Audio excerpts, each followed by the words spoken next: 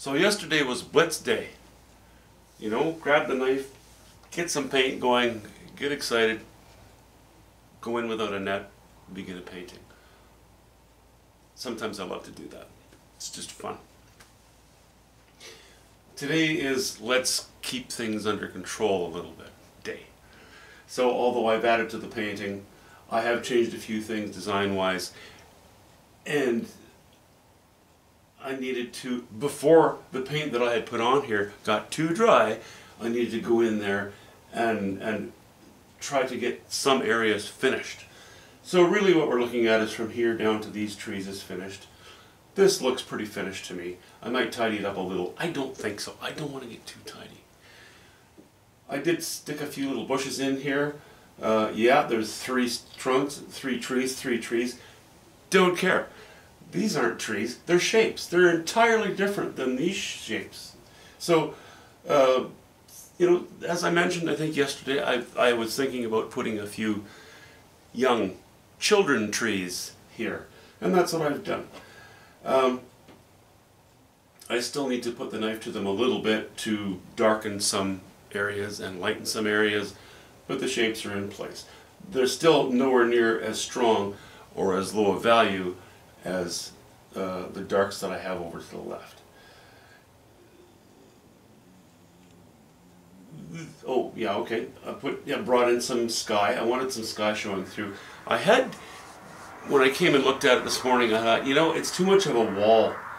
And although it really is about, the painting is about the close stuff, I still want the viewer to be able to look past it and look into the distance a little bit. So that's what, what's allowed here. You know, we've got sky represented by cobalt blue, ultramarine blue, and a bit of white. Uh, dirtied up with some yellow ochre, dirtied up with some alizarin crimson in places.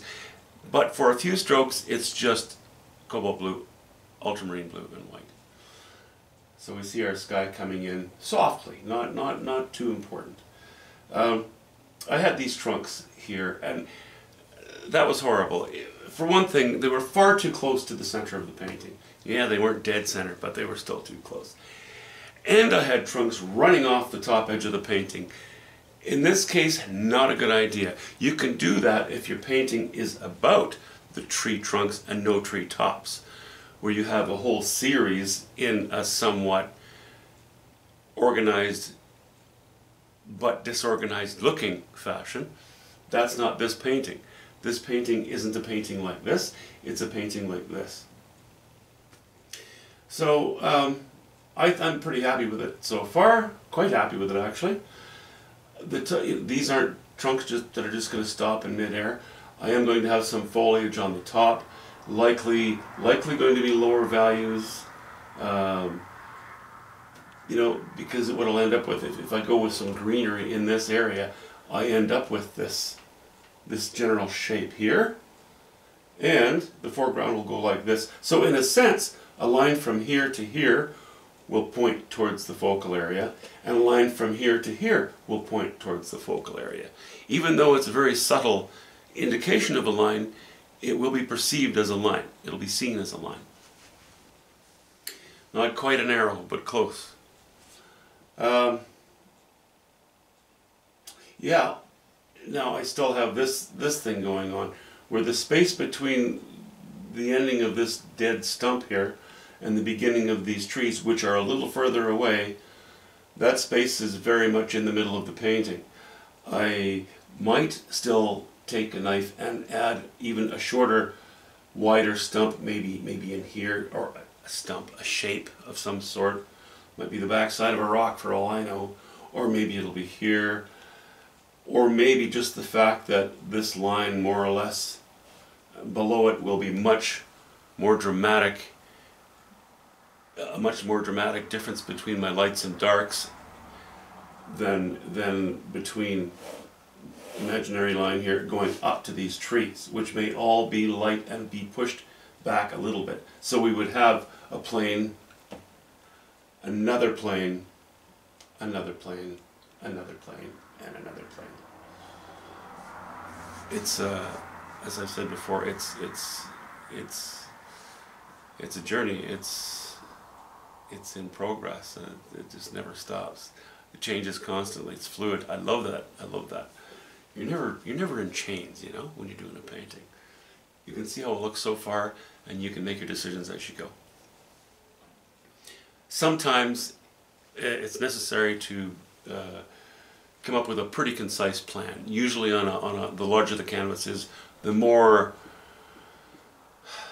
the more firm your initial plan needs to be, and the more you need to actually stick to that plan and vary it less. But this is only a 16 by 20 inch canvas, and I'm using a knife, so you know it's not it's not all kinds of tiny details and what have you. So I, I get to play with it. Um, I think that's it. Let me just stand up and back up and see if that looks okay.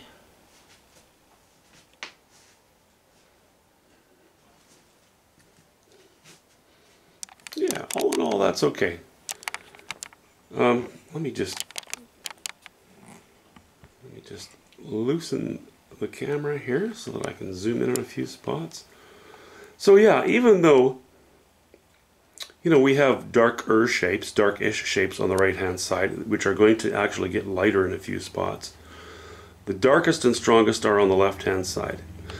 Now you skip past that foreground because the foreground in this case mostly serves to frame the focal area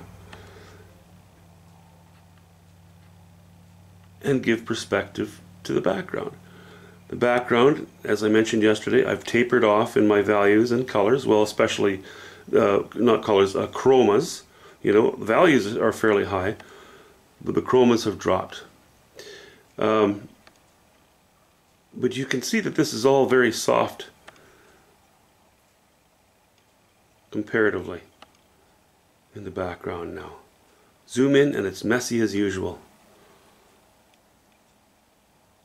But if I zoom in and it looks tidy, can you imagine how amateurish and anally retentive it's going to look if, if I made it tidy when you're up close? Never mind backing up. Again, that is coming from the perspective of a guy who likes impressionism, not realism. Realism is a totally, totally different animal. Okay, just thought I'd catch you up on what's going on.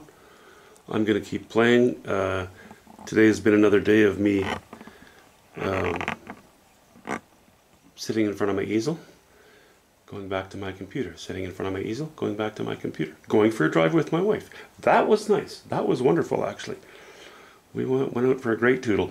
It, it has all the appearances and, and the feel of impending winter today. So, uh, and I did some work on my pickup truck, so we took it out for a ride, and well, just getting out into nature a little bit. No, we don't go for a drive in the city. That's never going to happen. But uh, we head out to um, a lake or a creek or ah there are so many nice areas around here anyways guys that is it for now hope you have a good weekend talk to you soon